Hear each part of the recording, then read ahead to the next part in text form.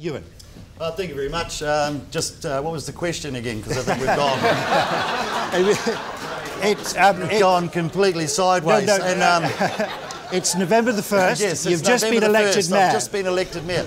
And, uh, and look, I think, look, I was a city councillor in Waitakere, which was uh, uh, uh, uh, uh, something I was very, very proud of, and um, and and uh, and it's a great, it is a great uh, city, and as Len has pointed out, he wants to turn all of Auckland into a Waitakere. Um, which is a, I think is a fantastic idea. But the reason that we made Waitakere so fantastic was because we truly listened to the people. Consultation is more than just ticking the box to follow due process. Um, you know, we have to have consultation. The government has said we have to have it. But we need to listen to that consultation as well. And I don't think that that happens nearly enough. Um, uh, without, uh, again, joining with uh, Colin here, I think we're singing off the same uh, song sheet a little bit. I'm a big believer in referendum.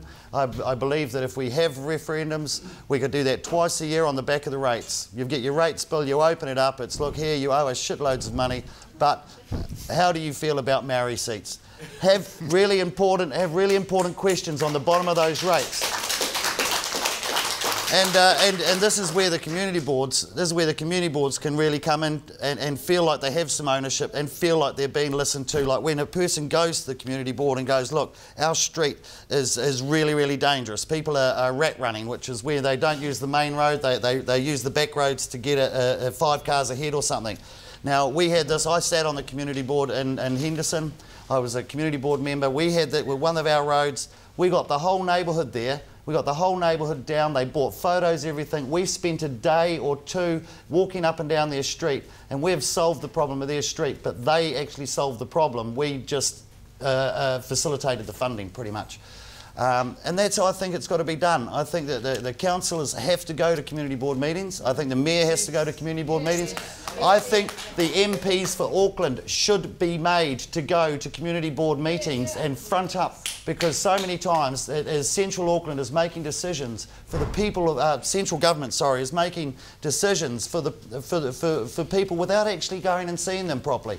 Uh, that's my view there. I'm going to quickly actually move on to how to engage with uh, the Wellington because I do have to go. And uh, engaging with Wellington, I, I sort of half, half put that forward by making, let's make uh, the MPs go to the community boards so that they are engaged, so they know what's going on in their city. But also, I think that central government they actually need to find ways to engage with us. We're the ones that have got $28 billion worth of assets. We've got $2 billion worth of, of running costs a year. We're a huge part of the, of the economic hub of New Zealand as a whole, and I think that central government needs to come to us and go, shit, sorry, where have we gone wrong? How can we change that? Thanks very much. Well, Nick. okay. Um, a, Quick question, and a, quick, a quick question for easy Ewen before he has to go off and, and, and work. Not this isn't I've got a mortgage, you see. I don't That's have, right. A, a I a don't have the war chest to be able to fund my A question campaign. for Ewen. No, I, I, I'm going to let you go. All right, thank you A- very, a very, very much. big Again, hand, please, for Ewen. Thank you very much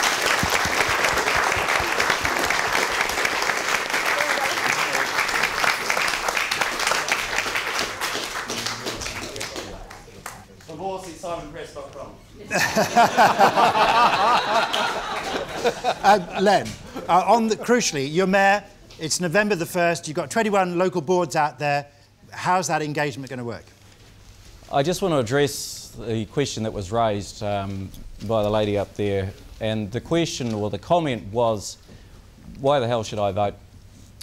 And uh, that was a sort of the basis of a, um, of a concern that was expressed around the community when the, the Super City proposal was announced. That people felt they'd be marginalised, left out of the process, not consulted, not included, their views ignored.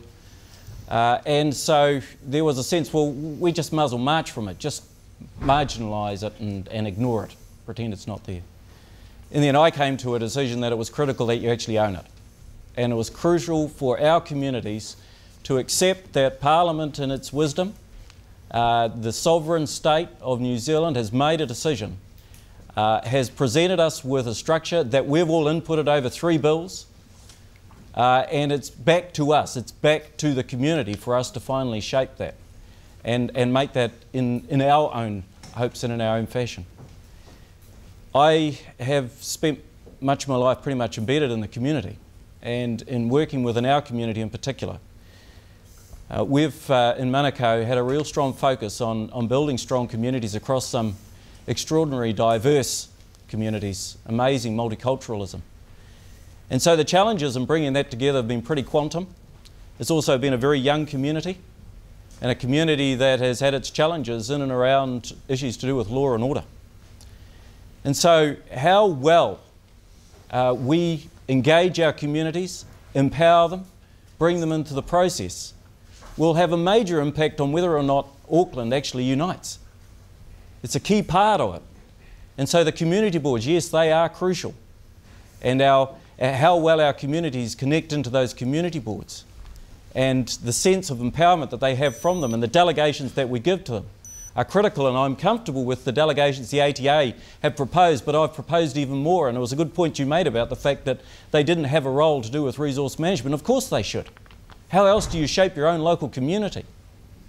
And so the issue of having empowered uh, community boards uh, is critical, and I believe it will be delivered between now and, uh, and the 1st of November. But to connect them back into the, the council, there's, of course, the councillors should be sitting on there. I, as a Mayor of Manukau, have sat in our community boards over the last three years and have relished that opportunity. I was a community board member for 12 years on the Otara Community Board. Some of the most significant changes that, that I was able to bring to bear through that 12 years of being a councillor were sitting on that community board and being able to generate some real change within the community. And so, uh, as a mayor, I will certainly be sitting on community boards. Now, it will be hard to rotate, but 21 boards, I will be sitting there. I will be sitting once a month with the chairs of those boards to ensure that there's a, song, uh, there's a strong sync between the boards and the council. And I'll also be looking to ensure that the CCOs and their representatives, in fact, sit with the boards every three months to ensure they get feedback from the boards in terms of the CCO's actions and that the CCOs get to report into the boards. The boards will be articulating the concerns of their local community and bringing to the council their plans to plug into the spatial plan, to plug into the, the three fora that I want to run on environment, social and economic growth and infrastructure, and to ensure that the level of funding that comes back into the boards uh, will in fact be commensurate with the needs of those boards and it will be fair. There will be no Otahuhu swimming pool examples sitting in the new Auckland Council. Everyone will get fair and equitable justice and fair and equitable distribution of their rates back into the community on an appropriate basis. No one missing out on the basis that they're not a part of the A team. Thank you very much.